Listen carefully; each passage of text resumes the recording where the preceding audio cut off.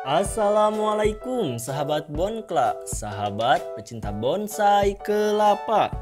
Di video kali ini saya akan membagikan cara mengganti pot bonsai kelapa yang akan dilakukan oleh sahabat cilik bonsai kelapa. Ya, namanya Halim.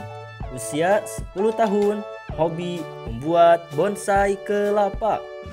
Simak videonya sampai selesai. Jangan lupa like, komen, dan subscribe channel ini karena channel ini akan membahas tuntas tentang bonsai kelapa.